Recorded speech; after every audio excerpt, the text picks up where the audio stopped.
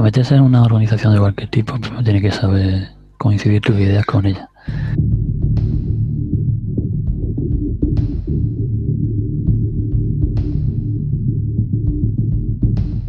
que va a hablar de numerología transgeneracional al encuentro con tu paz, miedo que no podía faltar en una tertulia de la paz mundial es un directo de Reiki terapia. Eso es muy importante. Hay que decir que el Reiki es magia negra. Ah, y bueno, también habla de meditaciones, medicina cuántica, chakras medicina alternativa, plantas sagradas, sanación de los otros y medicina cotidiana. O sea que no son ni, no son ¿no? No, no. Porque claro es que la paz mundial de este movimiento pasa por ahí. Es la paz interior. Porque dirán, como no podemos lograr la paz mundial, pues vamos a nosotros a hacer un grupillo y y hacer la paz interior para que todo mejore de nosotros y bla bla bla. Y bla bla bla bla. Secta.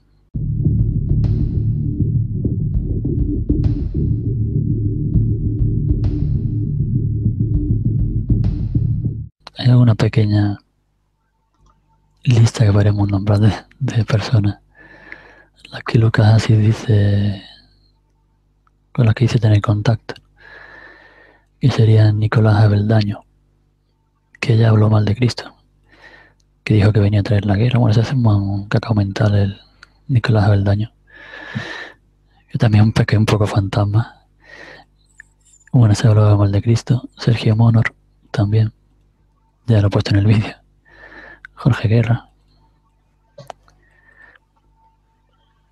En fin, casualidad o, no, que, que todos ellos coincidan en, en esta en este anticristianismo. Bueno, ya podremos hablar también del ecologismo, ¿no?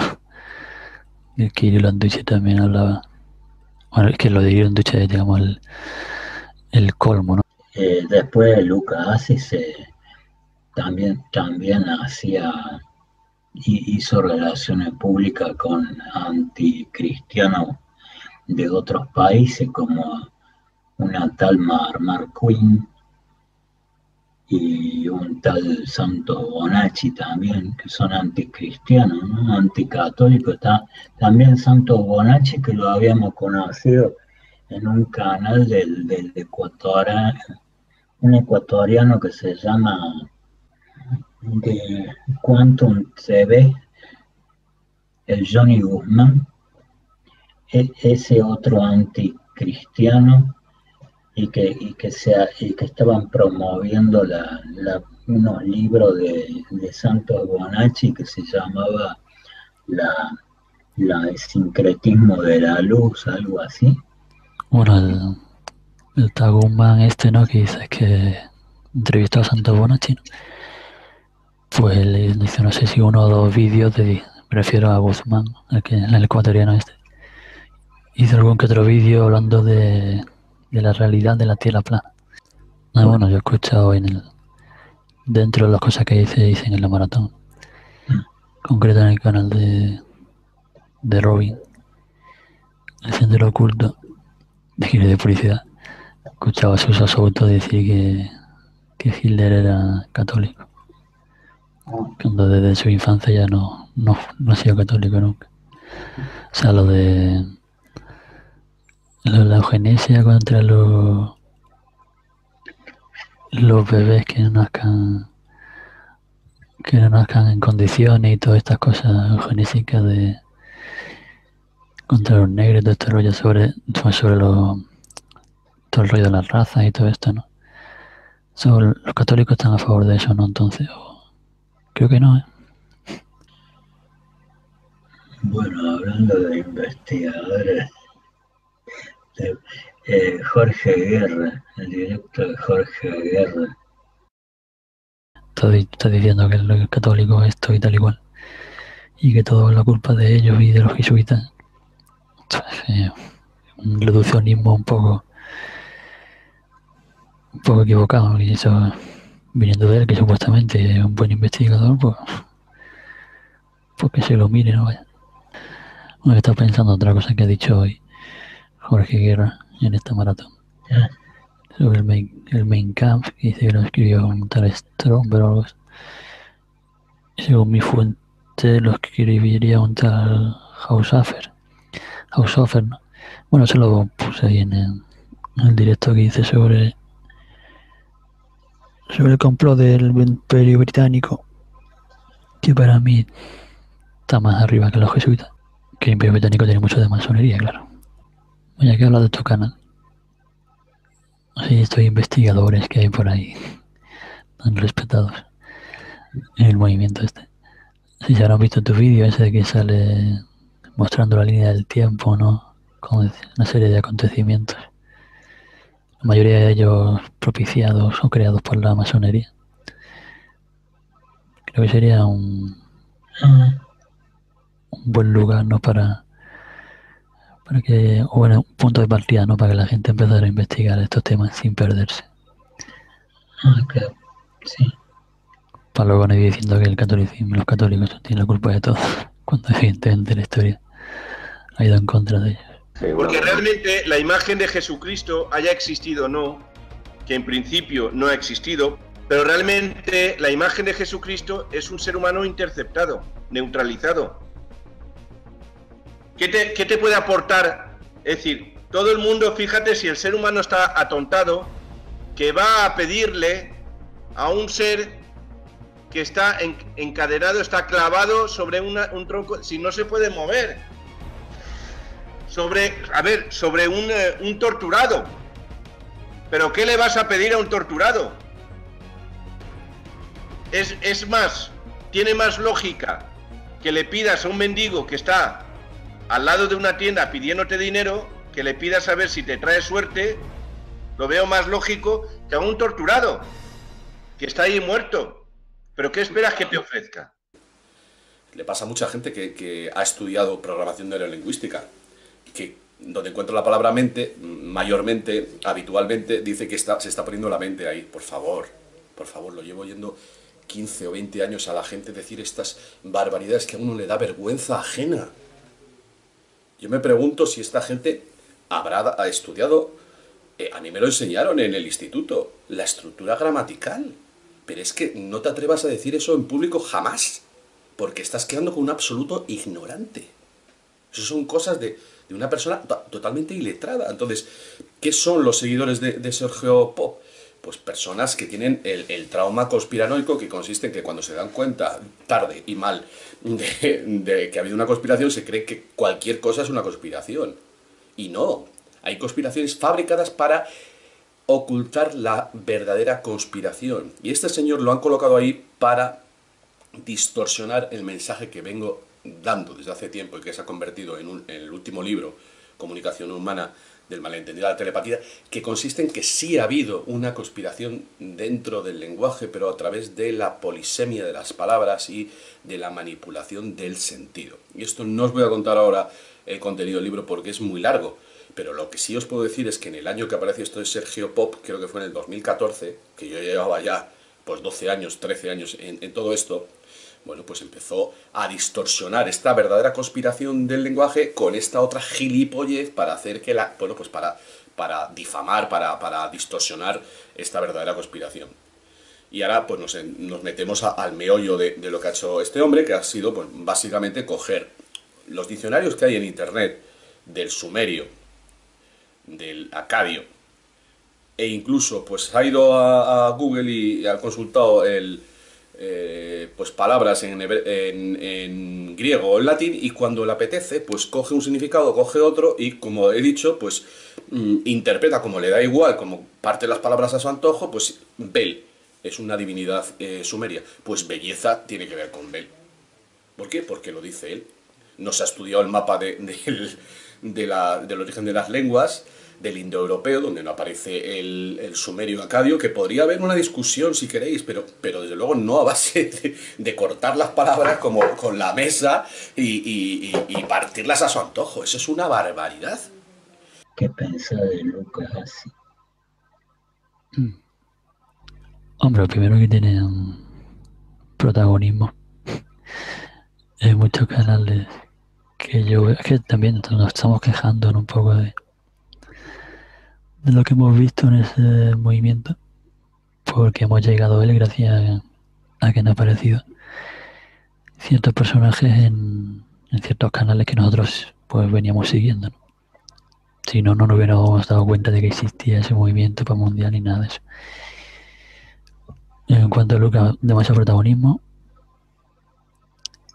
Eh, segundo, no me gusta para nada eh, las ciertas palabras ¿no? y tono de a la hora de hablar que tiene, que es más de un vendedor o de un líder de secta que, que de alguien sincero. Que es muy fácil darse cuenta, claro, que, que, se que se deje como que se deje llevar por, por sus palabras que vayan que ellos si me hablan de esa manera tan tan pastelosa, ¿no? Que bueno, no sé si se, entenderá esto, pero bueno. Están así con esas palabras tan bonitas y tan bien sonantes. Normalmente desconfío.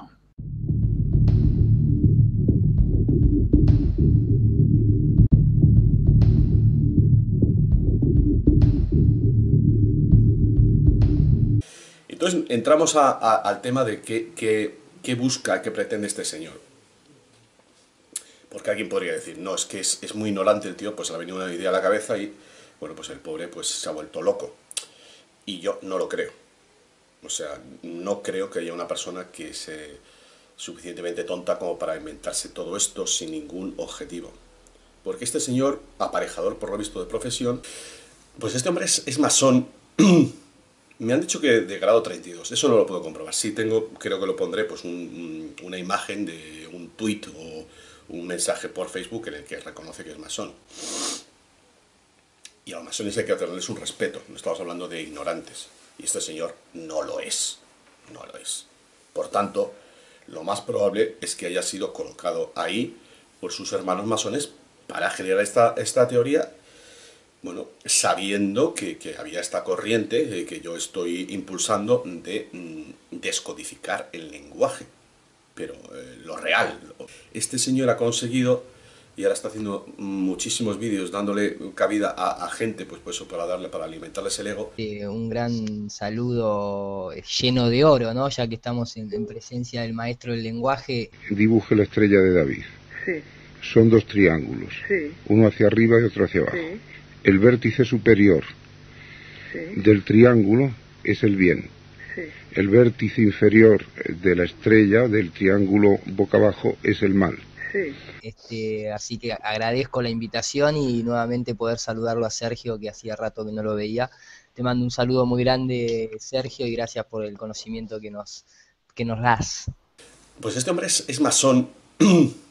Me han dicho que de grado 32. Y esto ya le venía tratando de organizar con Sergio hace muchísimo varios meses que trataba de convocarlo para crear una charla de estas, y esto ya lo venía tratando de organizar con Sergio hace muchísimo, varios meses que trataba de convocarlo para crear una charla de estas, varios meses.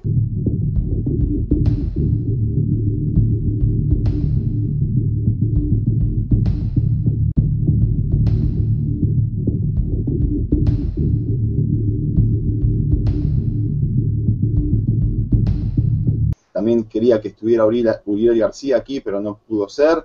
Y Iru y muchos de los compañeros que se sumaron. Y esta es una emisión abierta y todo el mundo se puede sumar. Está el link para entrar. Quedan dos espacios o tres, si mal no calculo.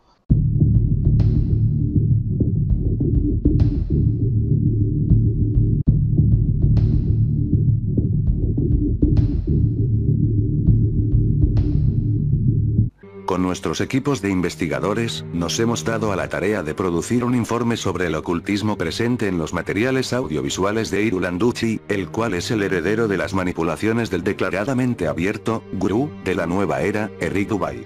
Aclaramos que Landucci no promueve la espiritualidad, él redunda en el espiritismo. Para quienes no sepan qué es el espiritismo, la sociedad teosófica ha creado una serie de movimientos, donde los viajes astrales, meditación, aislamiento sensorial, experimentar con drogas y muchas formas de vaciar al sujeto de su personalidad, constituyen un medio para posteriormente dejarse controlar por grupos y entramados en forma de sectas. Los líderes carismáticos, presentes en las religiones emergentes provenientes de sabidurías esotéricas que derivan en ocultismo, comienzan siempre de modo suave para una vez comprometidos los seguidores realizar acciones de rechazo a la sociedad de modo más notorio, conforme refuerza su devoción irracional.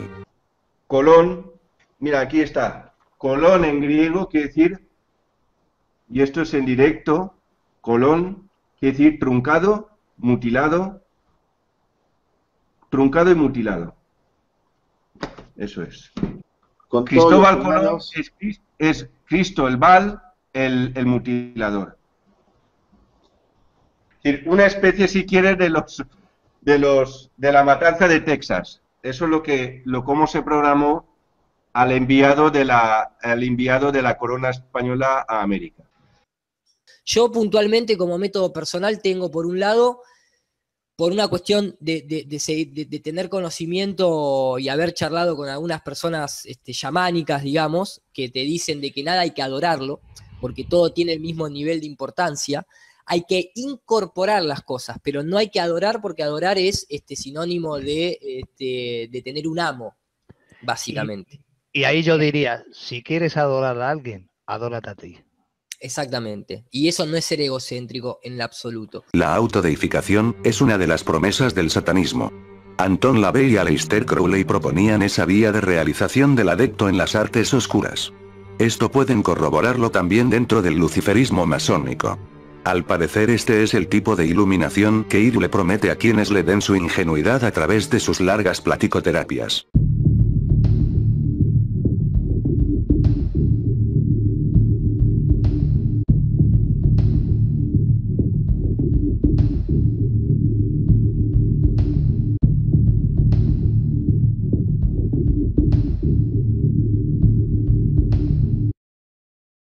Ojo, a nivel mundial la manipulación en sí de los movimientos se hace a nivel obviamente e, extragubernamental. Pongo dos ejemplos. El ah, movimiento de contracultura en los Estados Unidos de los años 60, el famoso New Age, todas esas cosas que hemos visto, ¿no? Las comunas de amor, los hippies, a toda esta gente, ¿sabes? Era un experimento preparado y llevado a cabo en un laboratorio por la CIA americana que simplemente lo sacaron de los años 20 de una comuna en Ascona, un pequeño pueblo en Suiza, era un experimento social. Entonces, ¿qué es lo que han hecho? Tú tienes los años 60, que es muy parecido a lo que está pasando hoy, millones de personas, sabes, que estaban hartos de la injusticia, de la guerra, de todo lo que estamos viviendo en los años 60.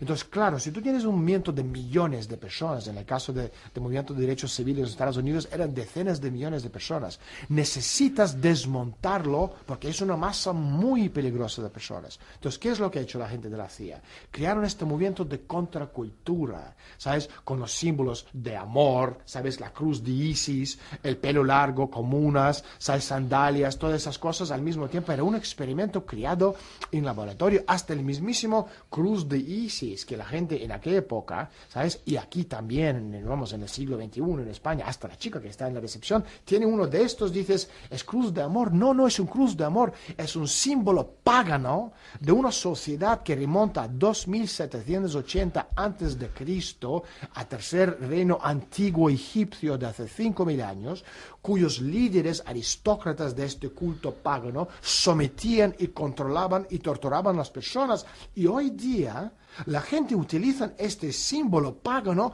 como símbolo de amor que era por Dios y la gente me dice, nadie me controla, te controlan de arriba abajo sin que le das cuenta.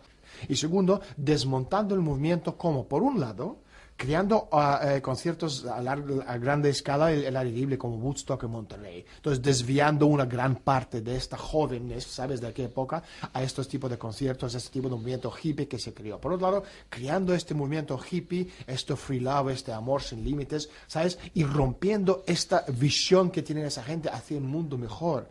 El antídoto es descubrir el valor de la persona, sin duda ninguna. En ingeniería social es posible en un contexto cultural en el que concurren tres circunstancias, en mi opinión, al menos. En primer lugar, eh, un ateísmo bastante presente.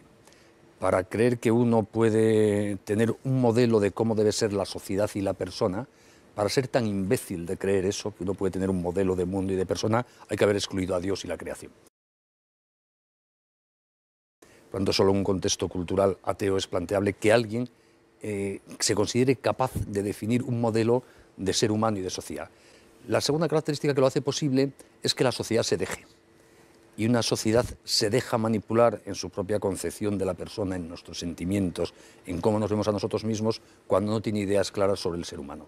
Solo la crisis irracional de la modernidad, que lleva a perder el concepto de naturaleza humana, a no reflexionar sobre qué somos, a perder la conciencia de que en el origen de las cosas está la razón creadora y no hay la irracionalidad de la evolución bioquímica del carbono, provoca el vacío intelectual en el que pequeños diosecillos pueden intentar convencernos de cómo debemos ser, de cómo vamos a llegar a ser felices. Bueno, deberíamos de estar hablando de por qué Lucas está todo el rato diciendo lo que tenemos, lo que tenemos que hacer y lo que no. No somos aquí todos muy listos. Pues, ¿cómo podemos dejar que, que cierta persona se ponga a creerse mejor que nadie y decirnos todo lo que tenemos que hacer?